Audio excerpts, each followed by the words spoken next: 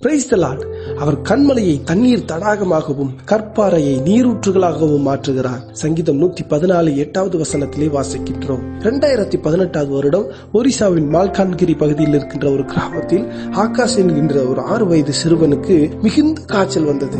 அவனுடைய தகப்பனார் ஒரு குடிகாரர். அந்த சிறுவனை காப்பாற்றுவதற்காக அந்த தகப்பனார் எந்த முயற்சியும் எடுக்கவில்லை. மூன்று நாட்கள் ஆகியும் அந்த சிறுவன் ஆகாஷ் மறிக்காத காரணத்தினால் அவனுடைய பெற்றோர் அவனை மருத்துவமனைக்கு கொண்டு சென்றார்கள்.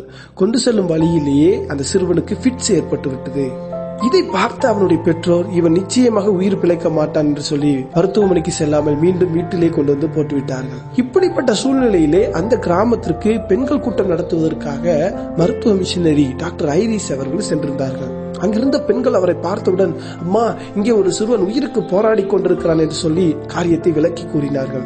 டாக்டர் அந்த இடத்திற்கு சென்ற பொழுதோ அந்த சிறுவனுக்கு ஃபிட்ஸ் ஏற்பட்டு உயிருக்கு மிகவும் ஆபத்தான நிலையிலே போராடி கொண்டிருந்தான். மருத்துவரிடம் எந்த மருந்தும் இல்லை.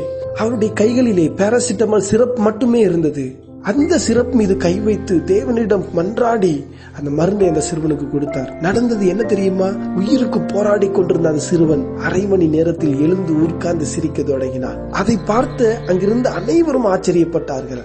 ஆகவேதான் வசனம் சொல்கிறது அவர் கண்மலையை தண்ணீர் தடாகமாகவும் கற்பாறையை நீரூற்றுகளாகவும் மாற்றுகிறார் ஏசியா நாலாவது அதிகாரம் ஆறாவது வசனத்திலே பகலிலே வெயிலுக்கு நிழலாக பெருங்காற்றுக்கும் மழைக்கும் அடைக்கலமாக மறைவிடமாக ஒரு கூடாரம் உண்டாயிருக்கும் என்று சொல்லி பார்க்கிறோம்.